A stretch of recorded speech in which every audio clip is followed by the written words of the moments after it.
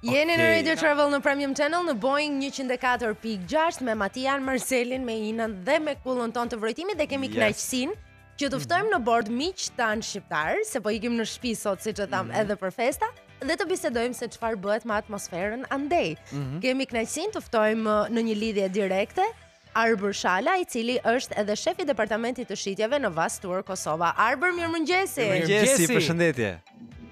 Mirëmëngjesi juve. Përshëndetje, mirëmëngjesi. Mirëmëngjesi dhe urime 28 nëntorin juve dhe gjithë shqiptarëve kudo që janë. Faleminderit shumë, gëzuar, gëzuar na qoftë një vit sa më i mbarë për të gjithë shqiptarët. Uh, Arbër ti tani na flet nga Prishtina? Po, tani nga Prishtina direkt po. Çfarë bëhet atje sot? Si është atmosfera? Ma merr mendja që është zgjuar Prishtina me festë ditën e sotme.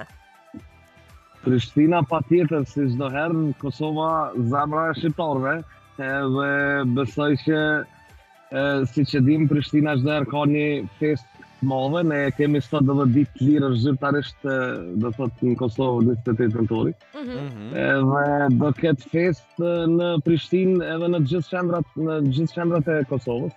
Po sidomos Prishtina do jetë me një program pak më të Pak më specifik, do të thotë do ketë do filloj nga ora 10, do ketë do ketë blej shqip, një farë lloj pazari, mm -hmm. ku do blehen të gjitha, ku do ketë mundësi, ku do kemi mundësi që të blehen të gjitha gjërat kombëtare të trevave të ndryshme artizanale të punuara me dorë nga nga nga zanatlitë e ndryshëm nga nga trevat shqiptare. e cila do organizohet në Prishtinë, pastaj gjatë ditës do ketë aktivitete të ndryshme rreth 28 nëntorit, gjithmonë tema kryesore është kjo. Mm -hmm. Edhe mbasdite, mbasdite dikur do kemi një farë, një lloj se është edhe 35 vjetori i Plisave, do thotë ah, tifozëve 35 vjetori i tifozëve Plisave nga Kosova edhe po po po ka festë të madhe pra. Jo, si më po do jetë do jetë patjetër do jetë festë madhe pra duke filluar nga 10 mëngjes deri në 12 natës do ketë do ketë festë pa ndal edhe pastaj do kemi këto jetën e natës aty ku bëhet më së miri në Kosovë. Po sigurisht. Aty ku është festa e vërtetë. Ne sot po vim dhe do festojmë ditën e flamurit sot në Kosovë, mm -hmm. pra bashkë me ju, do jetë një ndër gjërat më të mira që do bëjmë, por Kosova aktualisht ka dhe shumë për të ofruar, kështu që besoj është një periudhë shumë e mirë për ta vizituar Kosovën. Patjetër, tani është koha perfekte për të vizitu Kosovën, sepse siç e dimë, dimri Kosovë kemi shumë borë, mm -hmm. dje vetëm e kemi pas borën e parë në Prishtinë, Edhe oh, gëzuar. Edhe pak, po gjithsesi, gjithsesi e kemi pas borën e parë në Prishtinë. Ndërsa me të flasim për pjesën tjetër që malet e Kosovës veç kanë fillu veç janë mbush me borë. Ne siç e dimë kemi dy, dy rezorte shumë të mira të skijimit. Mhm. Njera është pak për filet, pak më për fillestarë, që është Rugova dhe Boga, malet e Rugovës. Atje, atje, kemi, atje kemi një pistë skijimi që është për fillestarë.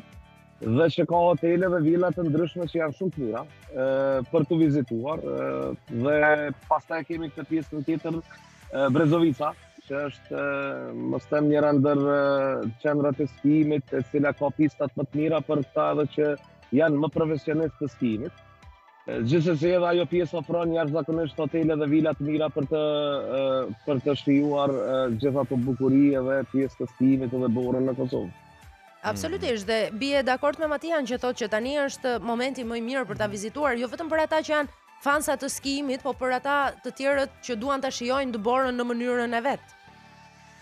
Apo jo, janë të ofruara të gjitha kushtet. Edhe për të fjetur në dëborë. Një pjesë e madhe e e vëllezërve dhe motrave tona nga Shqipëria që shumë rrallë ose ose fare s'e shijojnë borën, a? Po pra prandaj Në destinacion tani për vitin e ri Prandaj them edhe ditën e djeshme që pas ka qenë edhe dëbora e parë Ka qenë kështu për fillimin e festave Për një mhm. fillim mm -hmm. të mbarë ndoshta të këtij sezoni dimror E vërtetë, e vërtetë Edhe po. Prishtina është një vend që i kushton mjaftueshëm rëndësi kësaj periudhe së festave Pra duke filluar dhe me dekorin e vendit dhe me aktivitetet e ndryshme që ka Patjetër, Prishtina, Prishtina vetëm kësaj radhe, kësaj radhe do ketë do ketë një dekorim më tepër se ç'ka pas viteve të kaluara. Ëh. Mm -hmm. Gjithsesi me sa me sa kam informacion ka ka marrë do do rritet edhe pjesa, do rritet edhe pjesa e dekorimit, do thotë edhe sheshi. Mm -hmm. Nuk do jetë vetëm ajo pjesa kryesore ku është tani, nga Zahir Pajaziti deri te sheshi Skënderbej, por do jetë edhe nga Katedralja dhe nga Bulevardi Bill Clinton, pra do do jetë një shesh jashtëzakonisht i madh, e mm. cila do e cila do do të bëhet vetëm për festën e fundvitit, që do jetë me super dekore dhe do ketë aktivitete gjatë gjithë kohës, pra me këto shtëpizat e vogla të drurit, ku do ketë aktivitete të ndryshme gjatë ditës deri në mbrëmje, po ky vit do jetë një vit që duket shumë shumë më i mirë me aktivitete, duke pas parasysh që dy vitet e fundit me këtë Covidin kemi po. kemi kalu jemi vite më më të ngadalshme. Jemi të etur për të festuar duket kështu mm -hmm. dhe për të shpenzuar kohë me njëri tjetrin se ne jemi shqiptarë në fundit se nuk mund të rrim pa pa burgëzuar e pa, pa, pa festuar, pa festuar në grupe të mëdha, kështu që na duket si dënim këto këto vitet që kanë kaluar dhe le shpresojmë që ky vit do jetë akoma më i mbarë. Është saktë. Folëm po. pak aq sa duhet për çështjen e skijimit, duke qenë se ne siç thamë ndonjëherë nuk e shohim fare gjatë dimrit atë borën dhe e kemi shumë të nevojshme, po për shembull për ato pjesë të Rugovës, për Brezovicën që përmendëm, a janë të frekuentuara më së shumti nga ne shqiptarët apo vijnë turistë nga e gjithë bota për t'i parë? Ë, uh, Gjithsesi ka turistë nga gjithë bota, mm -hmm. ka turistë pjesa më e madhe e Evropës, po një pjesë e madhe e frekuentimit e, e vizitorëve aty është nga Kosova dhe Shqipëria, mhm. gjithsesi. Mm -hmm. Ka një frekuentim shumë më të madh nga Shqipëria. Ë vitet e fundit ka një frekuentim shumë më të madh nga Shqipëria, duke pas parasysh se çdo çdo vit po përmirësohen edhe kushtet e ndejës atje. Do të thotë, po ka po po janë bërë hotele të mira, janë bërë vila të mira, do të thotë që njerëzit po kanë mundësi se ku të rrinë, po kanë hapësira të mira se ku të rrinë edhe normalisht pista e skijimit është çdo vit po bëhet edhe më e mirë se po ka po ka rregull më tepër. Patjetër, ë uh, përpos të gjithë shqiptarëve që janë nga Shqipëria, Kosova dhe mbarë shqiptaria, besoj që kjo ditë mbledh dhe shqiptarët që janë në mërgim nga e gjithë bota. Besoj që është atraksion më vete edhe takimi midis shqiptarëve nga e gjithë bota në Prishtinë, jo vetëm në gjithë Kosovën, por po flasim konkretisht ndoshta në Prishtinë. A pritet të ketë si çdo vit, domethënë, ardhje të shqiptarëve në vendlindje? Nuk diskutohet ajo, ne mërgatën e kemi pikën kryesore Që e mirëpresim çdo fundvit, edhe nëse je në Prishtinë dhe viziton Kosovën tani në këto momente, do shohësh që çdo e dyta, e treta veturë vetëm pothuajse është me targa të huaja.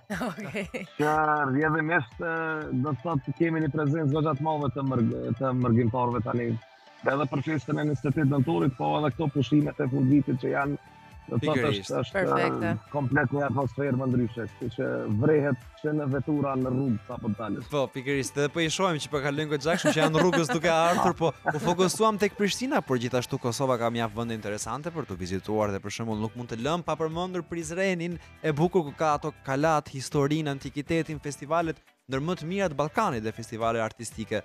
Kështu që është një vend që nuk duhet lënë pa u parë. Patjetër, Prizreni po ashtu njihet si njëra nga vendet më mikpritëse në Kosovë, pa diskutim, mm. dhe jo vetëm për arsye të mikpritjes, por atje edhe ke edhe ça sheh edhe ça viziton, Dim që kemi kalanë e Prizrenit, është mhm. lidhja e Prizrenit, pastaj ka një qytet të vogël antik me një shadërvan aty që ja vlen për t'u parë, është thonë, thuhet se po e pive ujin e shadërvanit të Prizrenit, do ngelesh aty. Të të mbajë. Po, po. do thotë Prizreni është po ashtu një qytet shumë i bukur, mhm. antik, që ja vlen të vizitohet, është si të them është festivali i Prizrenit aty, që ka një histori, siç e dimë të gjithë, sidomos për këtë besën e shqiptarit, që na duhet ta kemi në kujtesë. Dhe, na duhet ta kujtojmë shpesh. Po. në fakt, të gjithë njerëzve që vijnë nga e gjithë bota, sidomos turistë që nuk janë shqiptarë, e, ja ke frikën në thonjza të Prizrenit se sapo vijnë duan pashaportë pas po nuk nuk, nuk ikin më. më nga gjithë atraksionet që shohin për mbarë Kosovën. Nuk diskutohet, Prizreni është një vend shumë i bukur që është simbol i Kosovës, pa diskutim mm. me këto me këto me këto pjesën antike që e ka.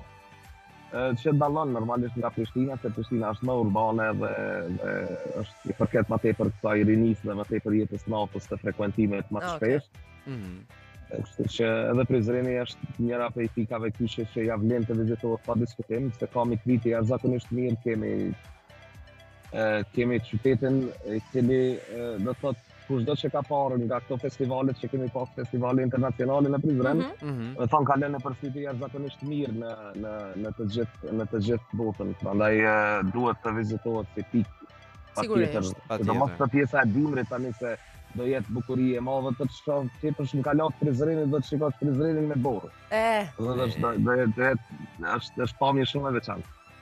Ne e dim shumë mirë Arbër që Vas Tour kujdeset për udhëtimet perfekte dhe nuk mundem të mos të të pyesim çfarë na sugjeron Vas Tour Kosova që të vizitojmë në këtë sezon në Kosovë. Çfarë do ishin vende që nuk duhet t'i lëmë në asnjë mënyrë pa vizituar? Vas Tour Kosova Do të thotë, ka çdo gjë që ja vlen të bëhet në Kosovë, duke filluar këto që i përmendëm, do të thotë, ndejat, hotelet dhe pjesët më të mira të Prishtinës, mm -hmm. pastaj në pjesët më të mira të Prizrenit, që do ketë jo vetëm hotele të bukra, vende të bukra, po do kesh edhe çka të vizitosh edhe do kesh të gjitha të organizuar.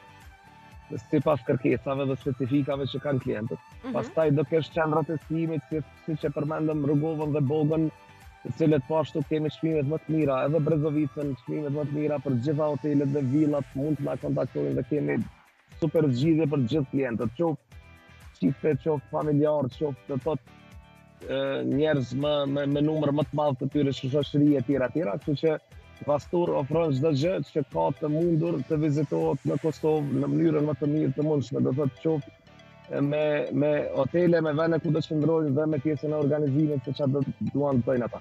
Po, Vastur jep mundësinë dhe për individ, për familje, pra mund të zgjedhim ne se me kë do vimë në Kosovë.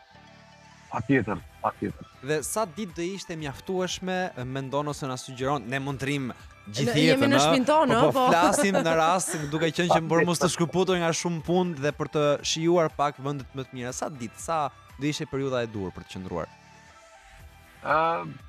varet se varet se ku të shkosh. Prishtina për shembull do ishte do ishte 2-3 ditë do ishte shumë okay për Prishtinën, ndoshta edhe për Prizrenin 2-3 ditë sepse nuk është në distancë larg mes tyre dyja. Pikërisht. Ë, uh, po gjithsesi kur flasim tani në pjesën e dimrit për qendrat e skimit, atëherë besoj se skimi nuk është asnjëherë mjaftueshëm, kështu që ah. Normalisht. Sa më gjatë besoj do jetë ok, po gjithsesi për të kaluar një kohë të mirë, një pushim të mirë, atëherë besoj se 4-5 ditë të pushimet standarde të mm -hmm. të skimit besoj që janë janë mjaftueshëm për për pushuesit. Absolutisht. Arbër, ne të falenderojmë shumë për këto minuta që kaluam bashkë këtë mëngjes. Do të takohemi në Prishtinë tani për të festuar ashtu siç duhet këtë ditë të shënuar për të gjithë shqiptarët, kështu që na qoftë gëzuar të gjithëve.